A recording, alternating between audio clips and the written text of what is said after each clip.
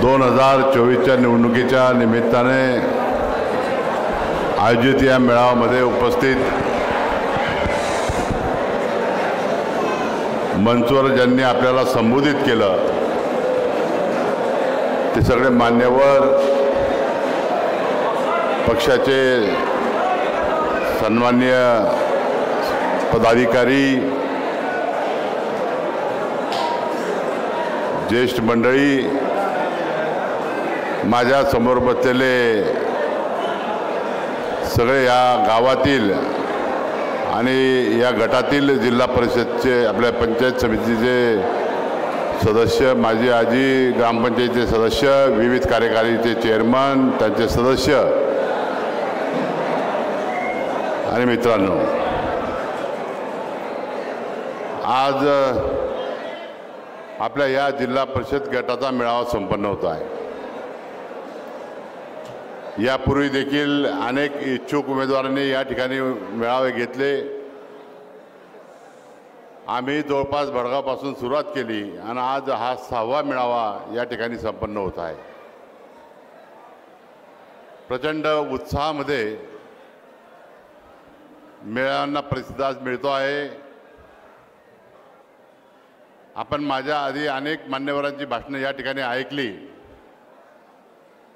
आणि आमदारांनी काय काय कामगिरी या मतदारसंघामध्ये केली याचा आलेख देखील त्यांनी या ठिकाणी मांडला.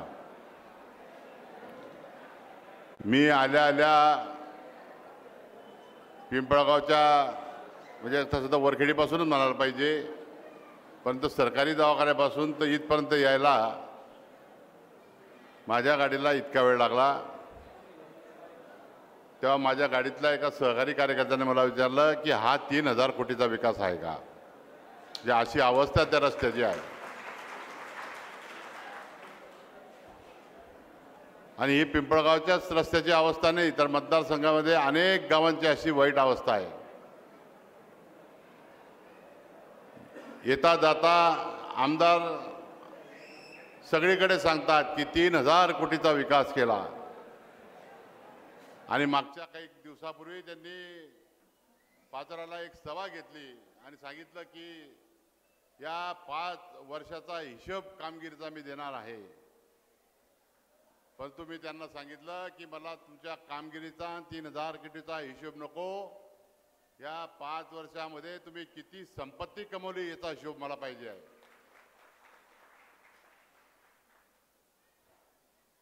कारण की मागचे पाच वर्ष ते आमदार होते हेही पाच वर्ष ते आमदार होते. आपण बघितलं असेल आपल्या गावामध्ये आपल्या परिसरामध्ये आमदार येतात. त्यांची ती गाडी येते एक एक काय ती? काय नंबर आहे? एक्का काय ते? तीन एक्का. त्याच्याबरोबर ते सात पोलीस एक पी एस आय घेऊन येतात संरक्षणासाठी. आता मला एक सांगा तुम्ही आपण त्यांना आमदार केलं. पहिली पाच वर्ष गेली नंतरची अडीच वर्ष गेली. परंतु ह्या अडीच वर्षामध्ये या माणसाला एवढं संरक्षण का लागतंय? आपल्याच लोकांमध्ये फिरायला आपल्याच गावांमध्ये फिरायला आपल्याच मतदारसंघामध्ये फिरायला या आमदाराला एवढं संरक्षण का द्यावं लागतं आहे कशाची भीती आहे? आपण महाराष्ट्रात राहतो का बिहार युपीमध्ये राहतोय?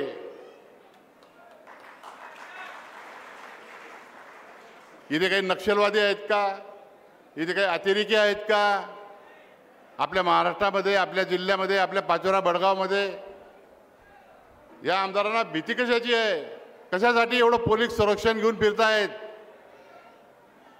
मित्रांनो याचं कारण एकच आहे की ज्या पक्षाच्या आदेशावर हे निवडून आले स्वर्गीय बाळासाहेब ठाकरेंचे पुत्र उद्धवजी ठाकरे साहेबांच्या शिवसेनेकडून हे निवडून आले. त्या शिवसेनेकडून उडून दुसऱ्या पक्षात गेले दुसऱ्या सरकारमध्ये गेले. यांनी खोकेच्या खोके मोजून घेतले. सुरत गुवाहाटीला फिरून आले. दोन अडीच महिने मतदारसंघामध्ये नव्हते बेपत्ता होते. आणि ते पैसे घेतले ते घरी पाठवले. आणि जेव्हा त्यांना समजलं की आता गावाकडे लोक चिडले आहेत जनतेमध्ये उद्रेक आहे संबंध महाराष्ट्रामध्ये ते पक्षफुटीवर उद्रेक झाला. लोक चिडले होते लोक रोज टी व्हीकडे पाहायचे की आपला बी आमदार या फुटीमध्ये आहे का? तर त्या फुटीमध्ये हे आमदार त्या सुरत आणि गुवाहाटीमध्ये नाचत होते. आणि जेव्हा हे परत आले मुंबईमध्ये तर यांनी सांगितलं शपथविधी झाला मुख्यमंत्र्यांचा काही मंत्र्यांचा शपथविधी झाला. आणि यांना सांगितलं की तुम्ही आता मतदारसंघामध्ये जा. हे चाळीस आमदार जे फुटले होते हे मतदारसंघात जायला घाबरत होते.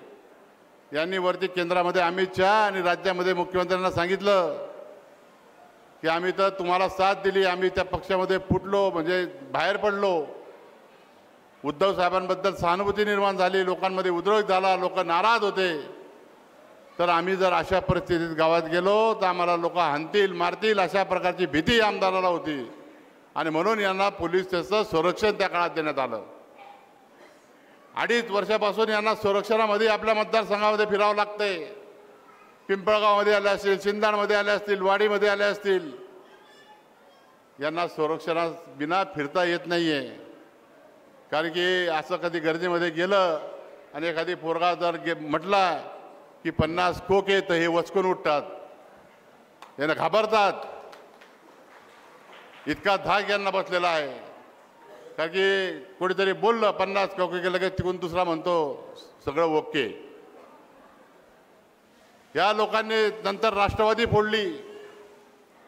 शिवसेनानंतर राष्ट्रवादीमध्ये केलं. आणि म्हणून या संबंध महाराष्ट्राचं गढूळ वातावरण राजकारण करण्याचं काम आपल्या या आमदारांनी आणि या महाराष्ट्रातल्या काही आमदारांनी या ठिकाणी केलेलं आहे.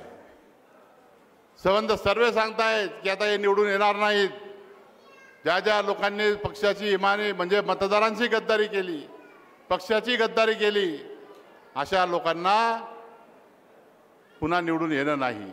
जसं एकदा विकलेला माल परत घेतला जात नाही तशी अवस्था आमदारांची झालेली आहे.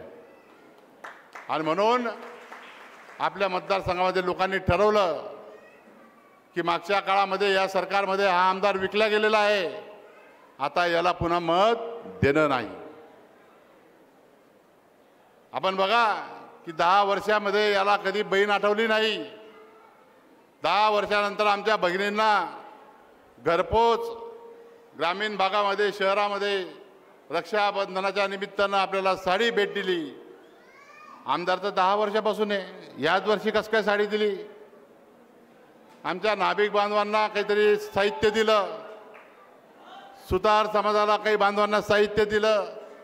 अरे बाबा दहा वर्षापासून तुला ह्या मतदानाच्या वर्षामध्ये मतदानाच्या दिवाळीमध्ये मतदान होणार आहे.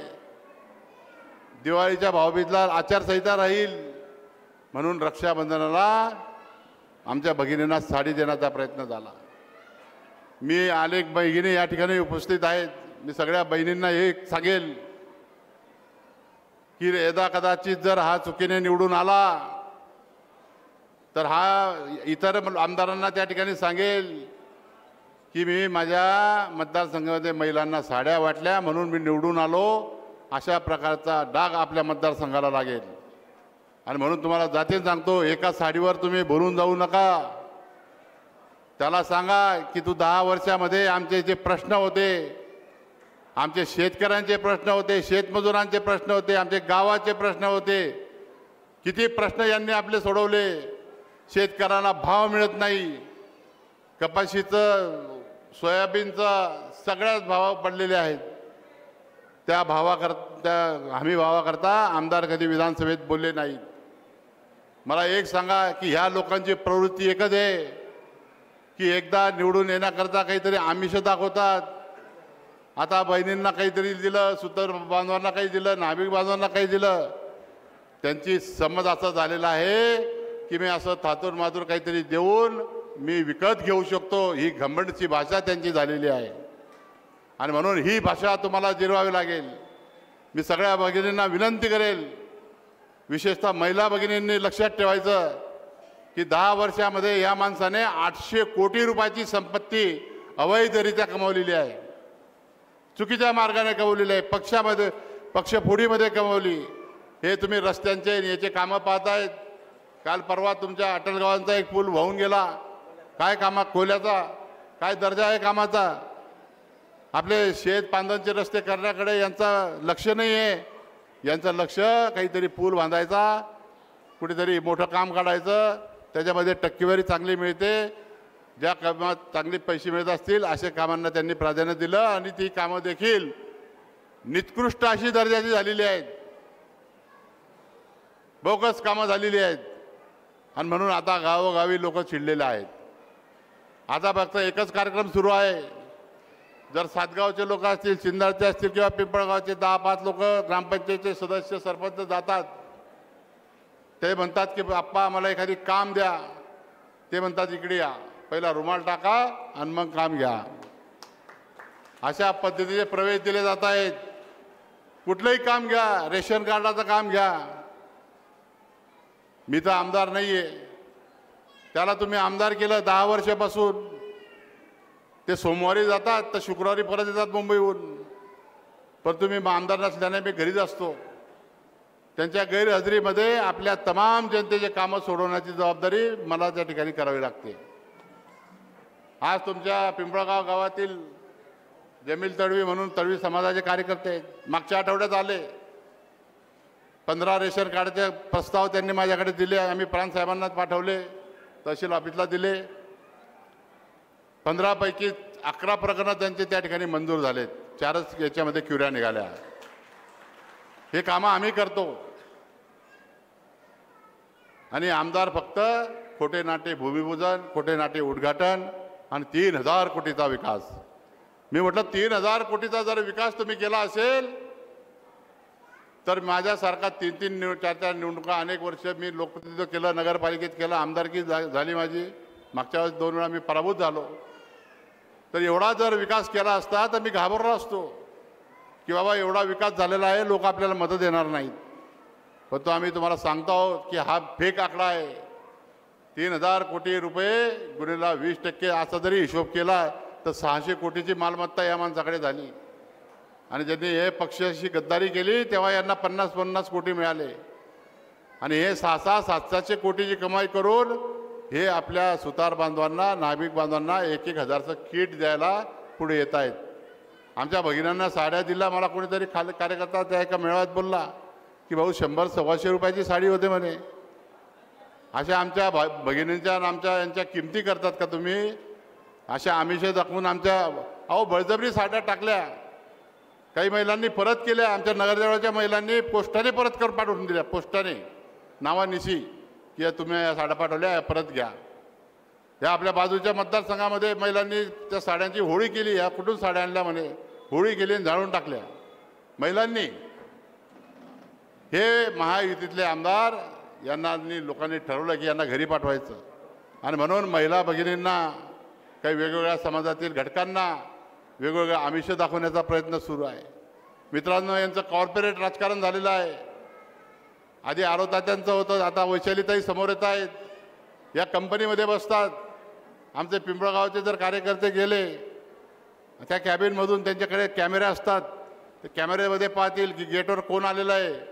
त्यांना इच्छा असेल तरच तुम्हाला प्रवेश मिळेल नाही तर प्रवेश देखील मिळणार नाही अशी परिस्थिती या लोकांची आहे. तुम्ही आमच्याकडे या. माझ्याकडे आल्यानंतर जसं तुम्ही दरवाज्यात घुसाल तसा मी समोर बसलेला असतो. मला काही कोणाला भेटायला कुठे मध्ये काहीच लागत नाही. यांच्याकडे जर तुम्ही गेले तर त्या गेटवरच वॉचमन असतो. तो अडवतो काय काम आहे? कोणाशी आहे? कोणाला भेटायचं आहे? मग तो फोन करतो. मग ताई असाच आहे पाठवू का? मग ती ताई कॅमेऱ्यात पाहते. काही पाठवू नको. नाही आहे सांगून दे. अशी अवस्था आत्ताच आहे. तर त्या जर निवडून आल्या तर तुम्हाला भेटतील कुठे? हा मोठा प्रश्न आहे. अनेक लोक इच्छुक झालेले आहेत. काल कोणाच तरी मेळावा झाला. ते म्हणतात की दिलीप भाऊंकडे कोणीच नाही.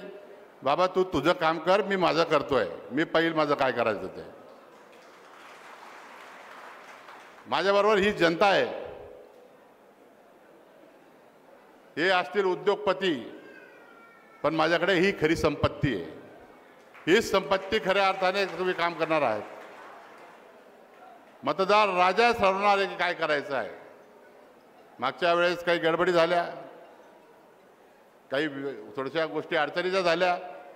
म्हणून निसट्टा पराभव या आमदाराचा विजय निसट्टा विजय या आमदारांचा झाला.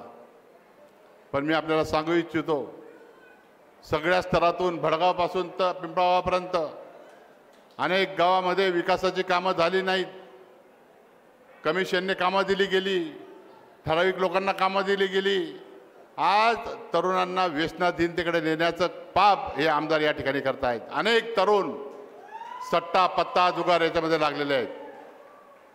कधी एखादा तरुण त्यांच्याकडे नोकरीच्या निमित्ताने काम मागायला गेला असेल एखादी काम मागायला गेला असेल त्या तरुणाला सांगतो की सट्ट्याच्या टपरी टाकून द्या चक्रीची टपरी टाकून द्या दारूची भट्टी चालू करून घ्या रेतीचा धंदा करा अशा प्रकारच्या वाईट व्यवसायांना आमदार त्या ठिकाणी प्राधान्य देतात आणि गुंडगिरी पोचण्याचं काम या मतदारसंघामध्ये सुरू झालं असेल तर हे अलीकडच्या काळामध्ये झालेलं आहे. काल एक गोष्ट सांगतो परवाच्या दिवशी आमचे एक मित्र आहेत तिथे हर्षल पाटील बसलेले आहेत कार्याध्यक्ष आहेत. यांनी त्या ठिकाणी जोरदार भाषण केलं. त्यांचा कोणी एक प्रवक्ता होता देसले म्हणून त्याच्यावर यांनी टीकेची झोड उठवली. आमदारावर तर बोलले नाही फक्त त्यांच्या कार्यकर्त्यावर बोलले. तर काल संध्याकाळी साडेसहा सात वाजता या माणसाला काय नाव आहे त्यांचं? भैया काय चरणसिंग राजपूत या माणसाने यांना धमकी दिली की आमच्या आमदाराच्या आणि आमच्या लोकांच्या विरोधात तुम्ही बोलू नका नाहीतर तुमचा बंदोबस्त करून टाकू. नाहीतर तुम्हाला संपून टाकू अशा प्रकारची गर्विष्ठतेची भाषा आणि दादागिरीची भाषा करण्याचं काम कालपासून या मतदारसंघामध्ये सुरू झालेलं आहे. मी त्यांना सांगू इच्छितो की तुमचं पोलीस संरक्षणमध्ये आमदार फिरतात कार्यकर्त्यांना पुढे करतात आणि त्यांना सांगतात की तुम्ही धमक्या द्या. मी त्यांना एक सांगू इच्छितो की याच्यापुढे जर अशा धमक्या येत असतील तर जशाला तसं उत्तर देण्यासाठी आम्ही सगळे तयार राहू. रात्री एक वाजता यांनी पोलीस तक्रार दिली.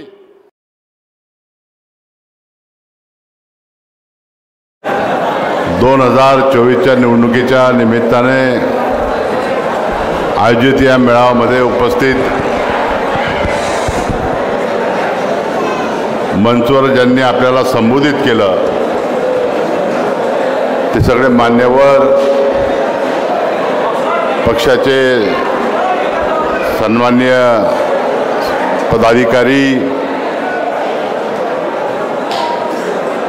ज्येष्ठ मंडळी माझ्यासमोर बसलेले सगळे या गावातील आणि या गटातील जिल्हा परिषदचे आपल्या पंचायत समितीचे सदस्य माझी आजी ग्रामपंचायतीचे सदस्य विविध कार्यकारीचे चेअरमन त्यांचे सदस्य आणि मित्रांनो आज आपल्या या जिल्हा परिषद गटाचा मेळावा संपन्न होत आहे. यापूर्वी देखील अनेक इच्छुक उमेदवारांनी या ठिकाणी मेळावे घेतले. आम्ही जवळपास भडगावपासून सुरुवात केली आणि आज हा सहावा मेळावा या ठिकाणी संपन्न होत आहे. प्रचंड उत्साहामध्ये मेळाव्यांना प्रतिसाद मिळतो आहे. आपण माझ्या आधी अनेक मान्यवरांची भाषणं या ठिकाणी ऐकली. आणि आमदारांनी काय काय कामगिरी या मतदारसंघामध्ये केली याचा आलेख देखील त्यांनी या ठिकाणी मांडला. मी आल्या आल्या पिंपळगावच्या म्हणजे तसं तर वरखेडीपासूनच म्हणायला पाहिजे. परंतु सरकारी दवाखान्यापासून तर इथपर्यंत यायला माझ्या गाडीला इतका वेळ लागला. तेव्हा माझ्या गाडीतल्या एका सहकारी कार्यकर्त्याने मला विचारलं की हा तीन हजार कोटीचा विकास आहे का? म्हणजे अशी अवस्था त्या रस्त्याची आहे.